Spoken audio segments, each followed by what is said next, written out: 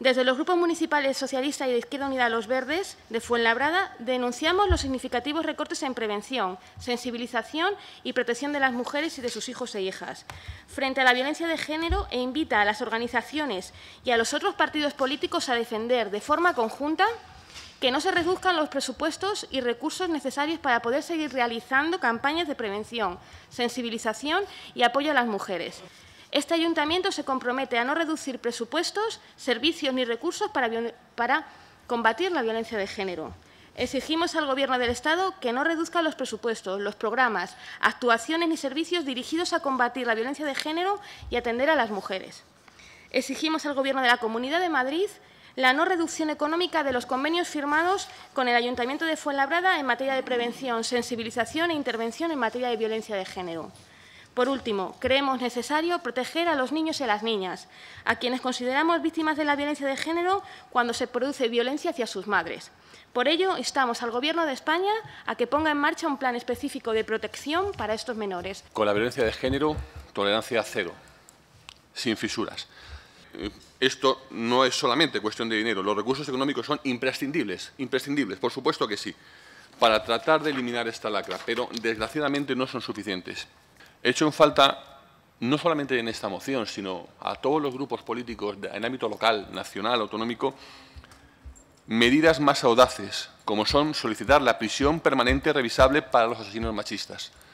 Por supuesto, votaré favorablemente esta moción, hoy y siempre. No queremos quimeras ni promesas, queremos realidades tajantes, con resultados inmediatos. Y las medidas de ajuste presupuestario que está llevando a cabo el Gobierno del Partido Popular solo está fomentando que las mujeres no solo, puedan no solo no puedan desarrollarse en igualdad de condiciones, sino que están más indefensas que nunca al no tener recursos de ayuda en caso de violencia de género. Gracias. El Partido Popular siempre dice tolerancia cero a lo que es violencia de género, faltaría más.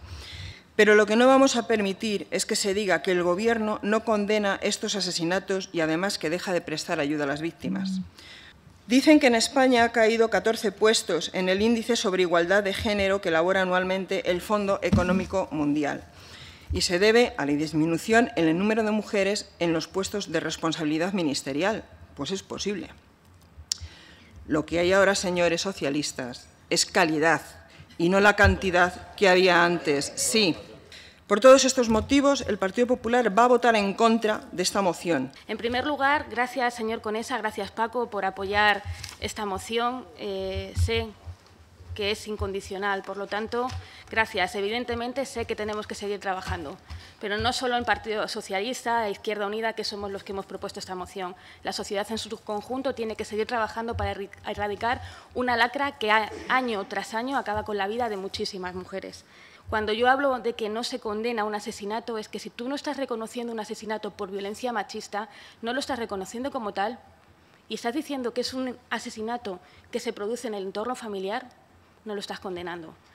Este gobierno, el, el, gobierno del Partido Popular de España, no lo está reconociendo y evidentemente el Grupo Popular aquí tampoco, en Fuenlabrada. ¿Me queréis decir que las que estáis aquí estáis por mérito y capacidad única y exclusivamente o porque hubo muchas mujeres antes que se pelearon y se dejaron la piel en el camino porque estuviéramos aquí? Resulta menos sorprendente aún que la reducción de casi un 30% en el presupuesto para la prevención de violencia de género les parezca banal. De momento faltan ustedes a la verdad, porque la ministra Ana Mato se puso en contra de todas las asociaciones del mundo mundial de mujeres, nada ser nombrada, porque dijo y, llamó a la violencia machista, le dijo violencia en el entorno familiar. Lo ha dicho antes la concejala. Lo tengo aquí eh, también, esto viene en el periódico. Eh, ¿Vale? y además se negó a rectificar, ¿eh? decía que era así, así de clarito. No, no le voy a leer todo lo que pone porque además lo colgó hasta en el Twitter.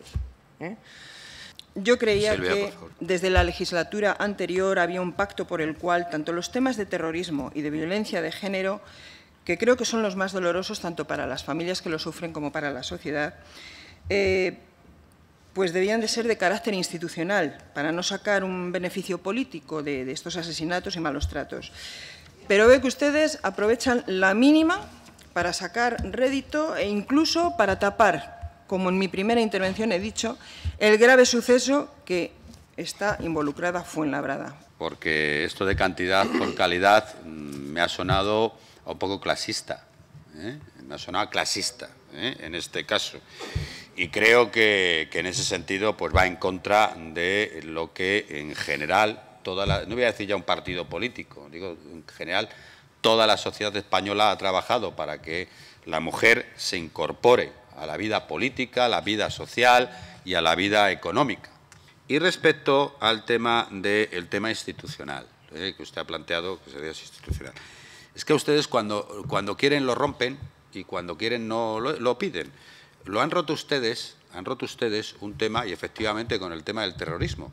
Y rompieron el tema del terrorismo cuando ustedes, en plenas fiestas de Fuenlabrada, en, y además embuzonado después a los vecinos, plantearon el tema del terrorismo en una de sus frases. Y ustedes lo han sacado, ustedes han sido los responsables fundamentalmente de sacar de eso del contexto de acuerdo. Porque a mí lo demás que se ponía en esa manera, y tal, mire usted, es una posición política, podré estar de acuerdo o no. Pero eso, respecto al tema del terrorismo, sí, no me gustó. Se lo digo con, con absoluta franqueza. No me gustó porque lo que se trataba fundamentalmente cuando aquel tema del minuto era de que entendíamos que no debíamos de mezclar lo de la violencia de género, el minuto que guardamos siempre al principio, con el tema del terrorismo. Y ustedes lo hicieron políticamente, rompieron un acuerdo tradicional en este tema. Ustedes han sido pioneros. Lo que pasa es que a ustedes, de momento, a unas veces les gusta romperlo y otras veces que los demás nos quedemos. Oiga, pues mire usted, no, no, ya está bien.